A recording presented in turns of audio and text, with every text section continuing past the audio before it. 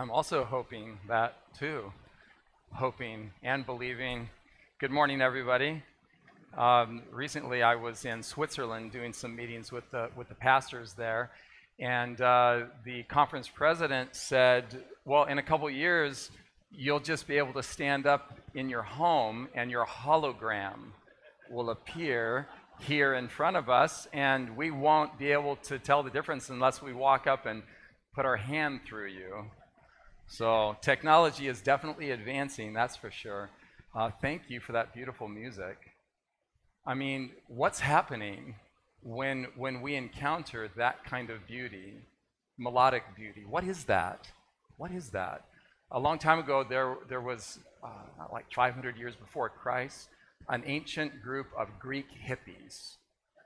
And they had musical instruments and they traveled all around and they did two things. They were observers of nature, so they were scientists. They were just paying attention to what's going on around them in the world.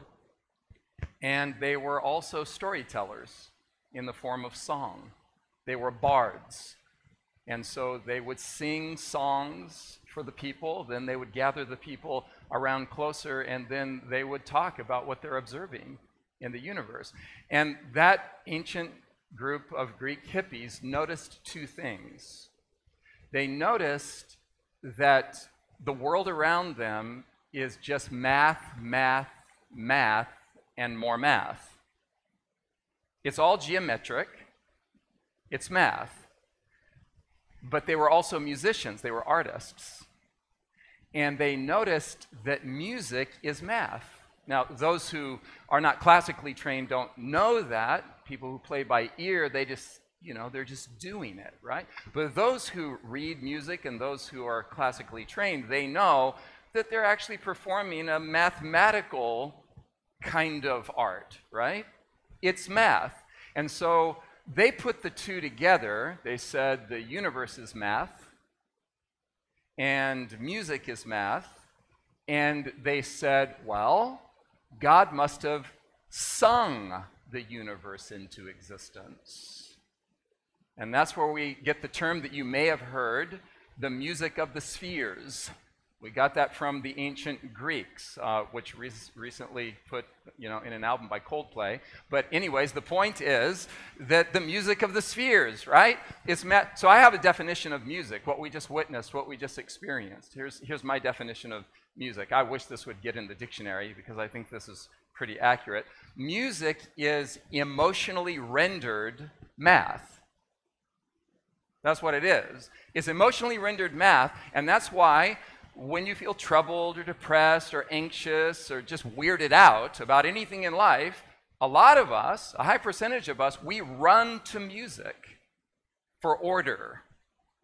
We don't think about it that way, but when you listen to beautiful music, it realigns, it reorders, it mathematically calibrates your emotions.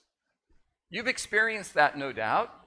And that's what we just witnessed and heard with our ears and hopefully with our hearts as well. So thank you. That was absolutely beautiful. But that's not the subject. The subject is, which means I can zero my time out and start over. I'm not going to do that. Okay. The topic is real love in an artificial intelligence world. So, this is an extremely important subject for the time in which, which we live. And I'm going to tell you why. We're living in, as I said last night, unprecedented times, peculiar times, strange times, unlike any other period in human history, due to the exponential advancement of technology. That's what we're witnessing, and that's what we're experiencing. It permeates all of our lives, whether we pause to think about it or not. We are now technological creatures living in a technological culture. Uh, Elon Musk, just a couple weeks ago, began uh, to develop a whole new species that we might call cyborgs.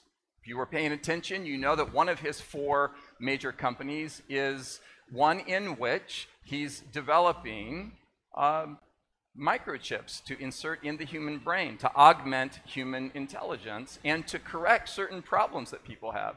So the first chip was just inserted in a human brain and a paraplegic. We witnessed, I witnessed on video, uh, this man who cannot move his body with his mind moving the cursor on the computer and playing a game of chess with somebody somewhere else in the world.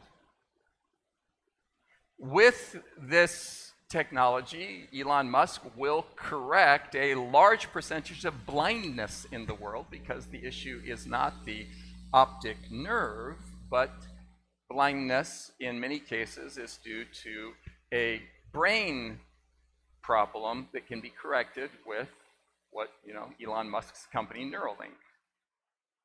It's just phenomenal where we are in some ways, but it is frightening where we are in other ways.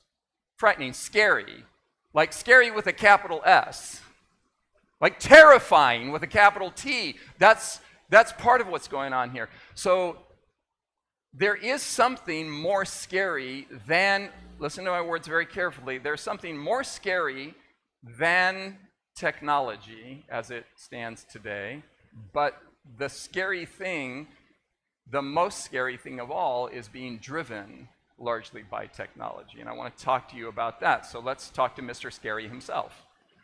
So this is Stephen King. He is the uh, best-selling horror author in history. He sold something like 450 million books in multiple languages around the world. He specializes in crafting scary vocabulary.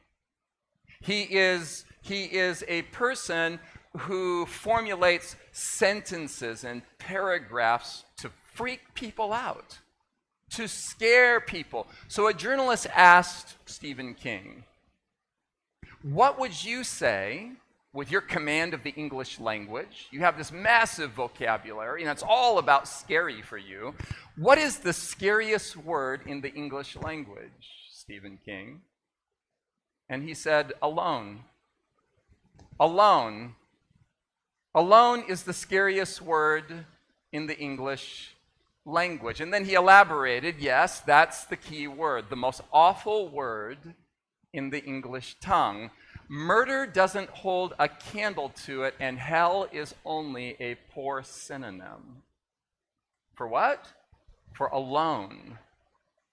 Alone. I want to talk to you about the loneliness epidemic that we are experiencing in our world right now. It's so out of control that in 2018, loner culture became a term that was coined, and we began to speak about this as if this were a normal development among human beings. In that same year, 2018, Theresa May, who was at that time the Prime Minister of England, you may remember Theresa May, and Theresa May, noticing the situation from an empathetic standpoint, but primarily from a financial standpoint, because Great Britain was experiencing a major problem in balancing its budget due to an abnormal amount of money being spent on loneliness. And so, for the first time in human history, a government appointed a minister of loneliness. I'm not making this up. There's the minister of war, the minister of finance, the minister of education, and now Great Britain has a minister of loneliness. This is a person whose whole job is to assess the loneliness epidemic, pandemic would be a more accurate word, and that loneliness that is overtaking humanity needs to be dealt with. And the research that emerged from Theresa May's appointment of Tracey Crouch as the Minister of Loneliness is that loneliness can be largely mitigated, sometimes completely cured, by human contact. Who knew?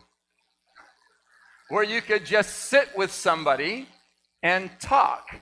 And Theresa May said that uh, we think we can cure the, the problem of loneliness by pairing people up to tell their stories to one another, to just sit together and have a chat. In Britain, over tea, maybe high tea, with some crumpets. But get together and do some, some talking, interact with one another. Japan followed suit and now has a minister of loneliness. Other countries will follow suit because we are experiencing a financial crisis with regards to mental health everywhere in Western culture. The number of people in the US treated for depression has tripled over the last two decades. Yes, I said the word tripled over the last two decades. Antidepressants are the top selling drugs in the United States right now. Antidepressants are. Top selling drug. While heart disease, heart disease is the number one killer, with cancer number two and stroke number three. But antidepressants, the number one class of drug being prescribed in the United States of America. I won't go into the uncomfortable realities that are present in this community at our own university right over here. What do you say here in the South? I just moved here. I'm learning this. Yonder? Is it yonder? Is, is Southern Adventist University just yonder over there? Is, am I pointing the right direction? Is some, so, oh, okay. I don't know where it is. Okay.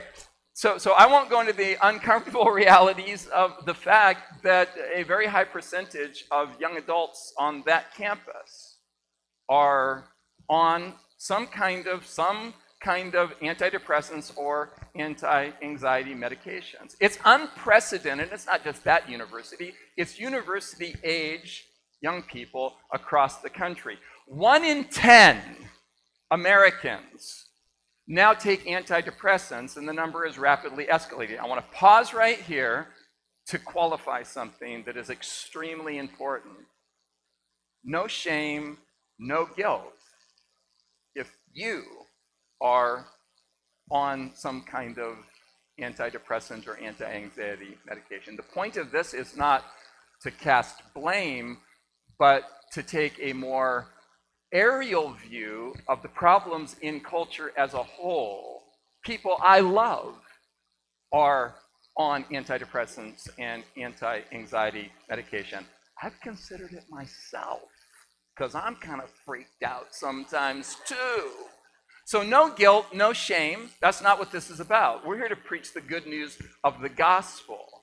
But one in 10 Americans now are on some kind of antipsychotic medication. In one of the most remarkable books of the last 20 years, in my opinion, maybe in the last half century, this is how important this book is. The title alone is remarkable. A stroke of genius in this title. The body keeps the score. Dr. Bessel van der Kolk is communicating in this book and in this title the idea that everything that happens to a human being psychologically, emotionally, makes its marks on our biology. The body, that is the physical body, keeps the score of what's going on in our heads, what's going on in our hearts. You know this intuitively when you experience something that is startling or you almost run a red light, or somebody has a car accident near you, or something happens and you feel it, you feel it maybe here in your stomach. You have a biological, a physiological response to a psychological thought and feeling. Yes? I met a guy recently who said he feels it in his shoulders. I don't know what that's about. In the stomach, generally, as human beings. But the point is that the body keeps the score. Now, Dr. van der Kolk says, and we'll return to him in a moment, his work is groundbreaking and remarkable, that Medicaid spends more on antipsychotics than on any other class of drugs now in the United States of America. I think it was van der Kolk who coined the term. No, I'm correcting myself right now as I speak. Prior to van der Kolk, the term drug nation was coined not to describe street drugs, illegal drugs, um, but the fact that most of us in America are on some kind of medication, and most of that medication, just by sheer percentage, is some form of antipsychotic. And some of us do this without a prescription. And we'll get to that later on today if you stick with us. You should stick with us. Um, I promise I won't waste your time. I'm using an economy of words to create and to communicate the best possible ideas for our time together. So please, if you can, attend all of these parts today. You can take a nap later, do whatever you want with the rest of your time. Just hang out here all day. There's food available. Okay, back to the point. We're in a predicament as human beings. We're in a predicament. Trauma, says van der Kolk, elaborating on the problem, trauma, pause right there. Van der Kolk suggests, and I agreed with him before he wrote this book, as myself, a sufferer of trauma, childhood trauma, uh, van der Kolk suggests that the entire human race, that planet Earth itself, is a trauma ward.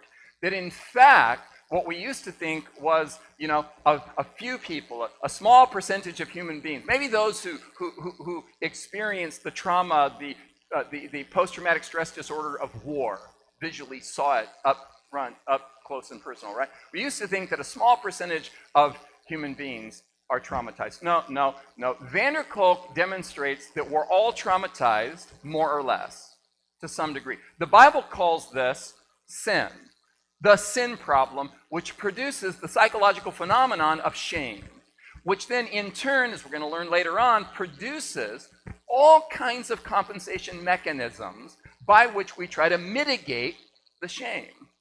We'll get to that later in greater detail. But the point now is that according to van der Kolk, trauma almost invariably, he didn't originate this idea, this goes back to uh, Janet, who was a contemporary of Freud, and he is the one, a French psychotherapist, who through observation came to the conclusion that van der Kolk is articulating here. Trauma almost invariably involves not being seen, not being mirrored, not being taken into account, not being figured in to a social circle. If nobody sees you, I don't mean physically sees you, if nobody is observant of your significance, if in fact you feel insignificant because nobody is turning their head your way to figure you in to the social dynamics, if you're not taken into account, if you're not figured in, well, trauma is accentuated. This is a primary premise of the book, The Body Keeps the Score. And what I'm suggesting to you in our time together in this, this Real Love and an Artificial Intelligence World seminar is that technology is driving people into isolation and therefore, to some significant degree, driving the loneliness pandemic. Technology is. For all its pluses, there are minuses, and therefore, as free moral agents, we need to actually be in control of it rather than it being in control of us. I'll say more about that later on.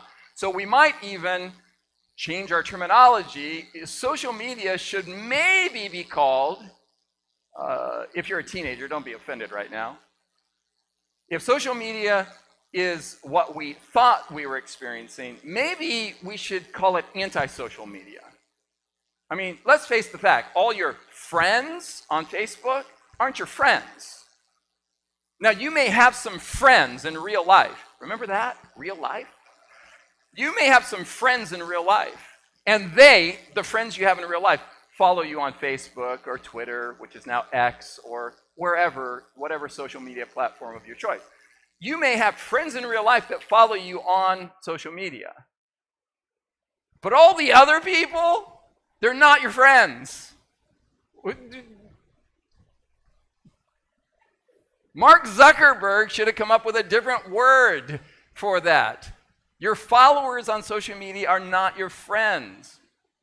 It's a form of, it's kind of voyeurism. It's weird.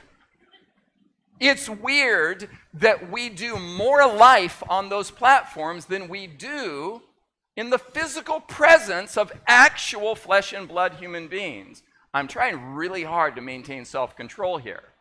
Okay, so UCLA Health, um, which is a pretty prestigious um, research magazine that is published online, uh, from UCLA, of course, in January of 2003, um, observed that social, since social media took off and became popular, a popular phenomenon in the 2000s, in the early 2000s, watch this, the rate of adolescent depression has significantly spiked.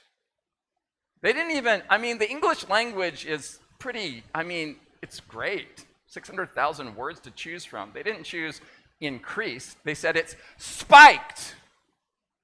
Okay? And the point is this between 2005 and 2017, that seems like a long time ago. The numbers have changed, I'm certain. But back then, depression among young people reportedly went up by 52%? Really? Why? What's the context here? A recent book, 2024, remarkable researcher, Dr. Jonathan Haidt, has informed us, and I want, I want you to see the I want you to see the subtitle of this book, The Anxious Generation how the great re- rewiring of childhood is causing an epidemic of mental illness. Rewiring. Now, when he says rewiring, he's not using that word in some kind of metaphoric sense. He's not using that word even in some kind of, uh, he's not, it's not hyperbole here. He's a scientist, and he's talking about what we call neuroplasticity. He's, he's literally saying, yes, that, that, that, that neural firing is being altered by the way we're navigating reality now, primarily for many through screens, through social media, anti-social media. And Dr. Haidt tells us that, in fact, Anxiety, depression, self harm, addiction, and suicide are spiking in our world right now, especially among children. Those children whose parents actually say, you know, you're five, I think you need an iPhone now. You might want to rethink that. I mean, Cheetos were bad. Go back to Cheetos. Give them freaking Cheetos. Why in the world? Okay, that's, again, I need to maintain self control here, but the book is informing us that anxiety, depression, self harm, addiction, and suicide, suicidal ideation, more accurately, boom, spiking right now, right now in Western culture. But what's God's approach? That's enough bad news. We're here to talk about the good news. Happy Sabbath. Okay, so what's God's approach to all of this? Here's what I want to suggest to you regarding God's approach. Check this out. In one of the most remarkable lines in all of Scripture, Matthew 11 19, the Son of Man, you know, that's one of the titles for Jesus. That's how he refers to himself, right? The Son of Man came, came, a little bit of travel has occurred, came from where to where? Came from whatever the heavenly realm is, probably not somewhere up. It's probably an overlapping phenomenon of some kind, but whatever. The Son of Man came from heaven, let's say, to earth. That's what he means by came. He came. This is what we call the incarnation. God became human. The Son of Man came eating and drinking. Was he hungry? Was he thirsty? could he not have generated food and drink for himself in that heavenly realm? Is the point here caloric intake? No, the point is not caloric intake. The Son of Man came eating and drinking. God came to our world to save us by eating and drinking with us. You have to understand that in ancient cultures, most ancient cultures, especially and for certain ancient Near Eastern culture where Jesus was born and was living out these realities, that in ancient culture, mealtime was primarily a social event. Now, we invented in the West, I don't know, did we invent these in the United States, what we call the kitchen counter? You know you do it. You stand there with no one, all by yourself, scarfing stuff down and you call that a meal. Biblically speaking, that's inaccurate. That is not a meal. I did it yesterday. I'm not condemning anybody. I'm simply saying that things are different now, and not different in a good way. Okay? It used to be that it was very common for people to have breakfast together as a family, have lunch together as a family, have dinner together as a family. Things like that, maybe at least once a day, might occur in the average home. Now we're just like scraping with our arm food off the counter and opening our mouth and just shoving it in. What's wrong with us? Sorry. Okay, so in biblical times, the meal was a social phenomenon. When it says the Son of Man, God in the flesh, came eating and drinking, he came to socialize with us. He came to hang out in the vernacular. He came to spend time with us. I like this kind of God. I mean, think about this the God of the universe, with all his omnipotence and omniscience, looked down upon the world and said, They're in trouble. They're broken. They're dysfunctional. They're rebellious. They're sinners. They're full of shame and guilt, and it causes them to not be able to have eye contact very easily with one another anymore. Their eyes are shifting. Their posture is weird. They don't know how to interact anymore. They're all so guilty. What shall I do? How shall I save them? Shall I paint words across the sky? What will I do? Oh, I know. I'll go hang out with them. I'll go socialize them out of their shame into innocence. I'll go become their friend and I'll let them get comfortable in my presence and then I'll lean over and say, by the way, I'm God. What? God? And you're hanging out with me? Aren't you mad at me? Don't you hate me? Aren't you angry?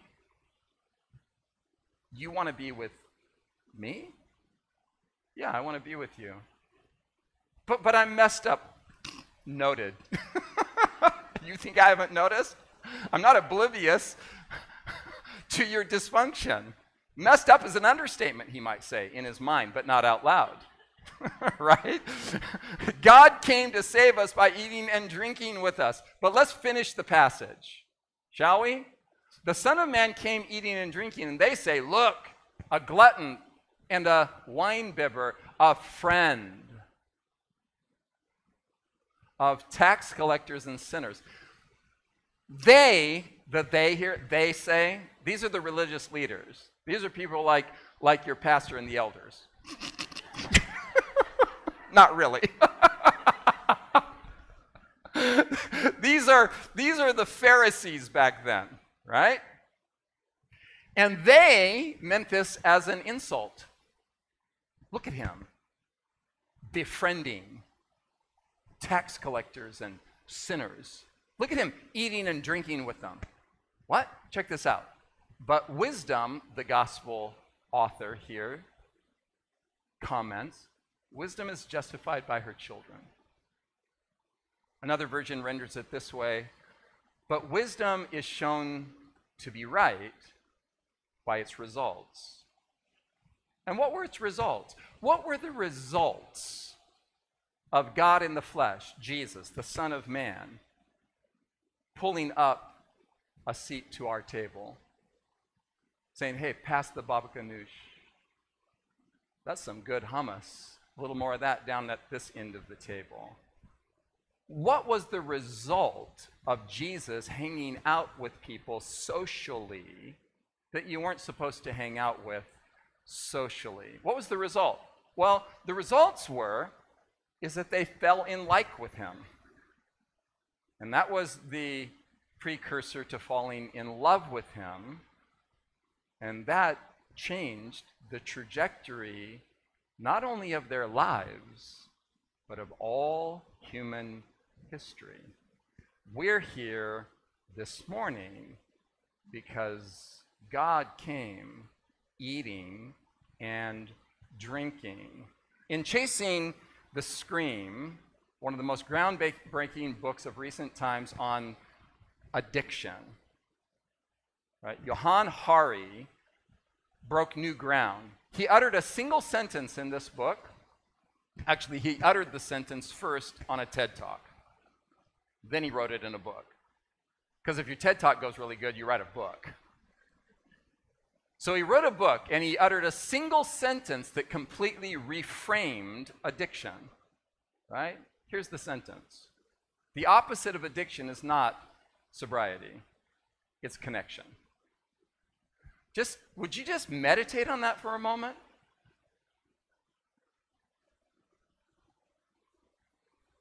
Do you have an addict in your life? It is an absolute certainty that you do. There are addicts in this room. Most of us are addicted to something.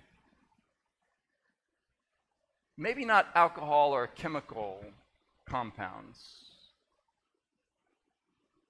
but there are other things that we'll talk about later on today that we're addicted to. Sneak preview, including religion.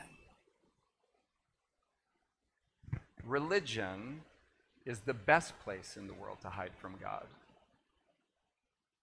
if it's not immersed in the gospel. If it's formal and ritualistic and condemnatory and miserly with compassion, it's a really good place to hide from God. So, the opposite of addiction, according to Hari, is not sobriety, it's connection. He goes on if you are alone, you cannot escape addiction. It's just not going to happen. If you are loved, you have a chance. Are you beginning to see the vital necessity of the church of the living God? Because what is the church? The church is a social network of people who do life in proximity to one another so that they can be, we can be, all of us can be seen and taken into account and helped and loved through our dysfunctions. The worst thing, absolute worst thing that can happen to a local church is to develop a culture of condemnation, nitpicking, policing everybody's behaviors, wondering why she dot dot dot, how could he dot dot dot. Well, here's the question whenever you say to yourself, how could he do such a thing? Here's the question. Here's the question. What makes you think you wouldn't do exactly the same thing given the same circumstances, pressures, and genetics? You are not fundamentally better than anybody who've ever done anything you would do the same thing. In fact, you are doing the same thing in principle. And you're doing worse with your cocky little religious attitude. That's the thing Jesus really is trying to cure most of us from. So, what is the wisdom of Jesus? Wisdom is proven true and right by its results. Well, what's, what's going on here? Jesus, the wisdom of Jesus is that he saved people during his time, and he's trying to do it now through his people. Jesus saved people from their sin and shame by becoming their friend in spite of their sin and shame. Is sin and shame present? Yes. Should friendship supersede it? Yes. Or else we're not the church of Christ. We're something, call it something, maybe call it paganism with a Christian mask. But it's not the good news. It's not the gospel. Is there sin and shame present in people's lives? Yes. Should friendship supersede it? Yes. We know this because the Son of Man came eating and drinking. He came to befriend us. He said it point blank, or as they say, straight up. Just put it on the table. No longer do I call you servants. For a servant doesn't know what his master is doing. But I have called you friends. For all things that I heard from my Father, I have made known to you. John 15, 15. What's happening here? Jesus is drawing a contrast that we'll talk about in greater detail later today. Jesus is drawing a contrast here between two kinds of relational dynamics. There is the servant master relational dynamic, right? Is that present? You see that in the text? And then there's the friendship dynamic. Do you see that in the text? And Jesus is saying, not that, this. And he's God.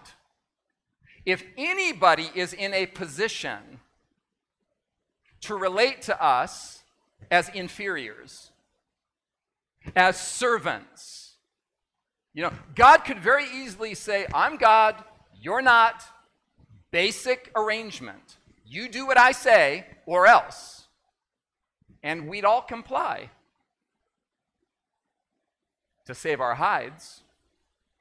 But the question would remain does anybody, does anybody love God? Because love and coercion can't occupy the same emotional space simultaneously. So the, the point is that Jesus says, I don't want a relational dynamic with you that is governed by fear, manipulation, coercion. I'm, I'm not going to put my thumb on your shame. I'm not going to rub your nose in it. I'm not going to make you do what I want you to do by making you feel bad or obligated. No, I'm going to love you. I'm going to be your friend. And then, in the context of my friendship, and this is the part we don't like about it, this is long game. Condemnation is short game. And we as a church have been playing short game relational dynamics for so long that our churches are empty of young adults largely. I won't go into the numbers, but the numbers are frightening. We've been playing short game relational dynamics expecting that if you call their attention to whatever it is that you or I think they're doing wrong and ought to be rectified, they're going to naturally lean out until they vanish. But if you play long game relational dynamics and you just keep on, how shall we say this? Being nice being kind, waiting, holding your tongue, loving, passing the baba ganoush, keeping them close so they can go through their junk with us rather than without us? I mean, what kind of insanity is this? That we're expecting them to do better outside of our influence. So we play the short game of shame rather than the long game of love. No longer do I call you my servants. I want you to be my friends. I'm not going to relate to you in a way that will drive you from me. I'm going to relate to you in a way that will keep us in close contact. Do you have some issues? That's an understatement. Are you messed up? Mm hmm. I still love you. Stay with me. Stay with me. So, the traditional model, I'm not sure traditional is the right word for that, but the traditional model is the way we approach people is you need to believe the right things. You need to be doctrinally correct. And you need to behave correctly, then we're paying attention too. We've got forms and stuff. You need to believe the right things, you need to behave the right way, and then the nonverbal cues will make clear to you whether you belong or not. And some of us are so verbal, there will be verbal cues. You know what I'm talking about. Jesus flipped that relational trajectory, and it looked something like this. He just showed up at the table. He just hung out with people who are doing all the wrong stuff. I mean, bro, we can't even handle nail polish. And Jesus is hanging out with people who are doing some pretty dastardly stuff, right? And he, he communicates in his nonverbal interactions by just socializing with them. He communicates, I like you. I love you. I'm here with you. I'm with you. I'm with you. I'm with you. And then here's what happens. This is this is I mean, this is human psychology 101. I don't know how we missed this. It's very easy to observe that we are creatures that are malleable. We're very easily influenced. That's why everybody in this room looks approximately the same. We're all wearing skinny ties now rather than fat ties, unless you're 84 and you got stuck in a time warp. Which kudos to you, you should have. That means you're a little more original than the rest of us, praise God. But the point is that we're very influenced by everyone around us. You know, haircuts come and go. You know, skinny ties, fat ties. V necks, not V necks. If you're going to be wear a V neck, by the way, you should remove the hair. it's a totally different subject. But the, the point is this. The point is this. I hope you're still tracking with me. That was an accident. I didn't mean to say that. Okay. So So Jesus flipped it in a different direction. He said, he said, listen, listen, listen. You belong to me. You are my son. You are my daughter. You know how this works. You have some family members, don't you? Here comes Thanksgiving. Here comes Christmas. You're like, oh no. But he's family. He belongs to us. right? Jesus, Jesus said, You belong to me. You're my son. You're my daughter. I'm with you, right? And what happens, we're, is this a word? Influenceable. Somebody Google that for me. And we begin to believe like the people we love and respect, which is to say, we begin to believe like those who love and respect us. And then we begin to behave in better ways. And we let the Holy Spirit work that out with a person because some of us have weird little idiosyncrasies in our standards that we made up and we think there are Bible verses for these things. But the point is that whatever God wants to correct in a person, if we keep on allowing them to belong, they will begin to believe they'll begin to behave. Maybe not exactly the way you think they ought to behave, but they'll begin to behave the way Jesus wants them to behave. Ellen White says it this way for those of you who are familiar with this author. Our influence upon others depends not so much upon what we say as what we are. Men may combat our, and defy our logic, they may resist our appeals, but a life of disinterested love is an argument they cannot gainsay. This was written like hundred and some years ago. Disinterested means something like love that doesn't have an agenda, right? And gainsay means something like you can't deny it or defy it. You can argue with someone's apologetics, their arguments, their doctrinal arguments. You can, if somebody loves you, you're like, whoa. What am I, say, what am I going to say to that? What am I going to say to that? You don't love me? I can't know that. All I can do is assess the way you're relating to me. Love is the only irrefutable evidence Christianity has to offer. Now, that's not to say there aren't doctrinal verities, there are. But those doctrinal truths, right?